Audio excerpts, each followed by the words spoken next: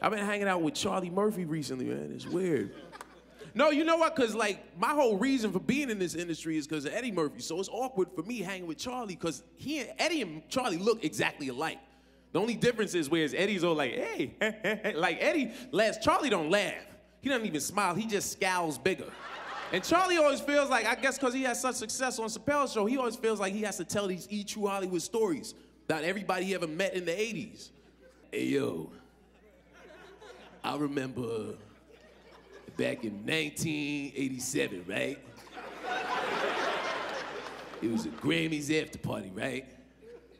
And it was me, it was Eddie, that's my brother, Eddie Murphy, right? It was me, it was Eddie, George Michael and Boy George was there, because there's a two George minimum, right? It was me, it was Eddie, Sting was there, John Cougar Mellencamp was there, that dude from Flock of Seagulls was there, it was me, it was Eddie, Cyndi Lauper was there. Madonna was there. You know, I was the first dude that Madonna ever messed with that was black, right? Yeah, I hit that. Now she's adopting little Africans anyway. It was me.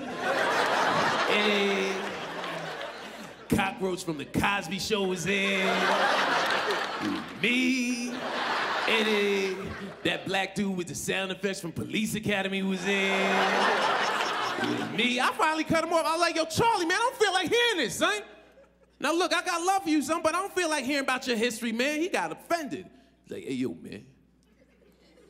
Let me tell you something.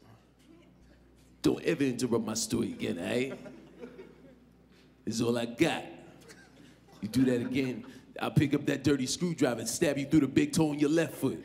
You get hepatitis B, C, and D. We have to cut your foot off, then you'll be an amputee.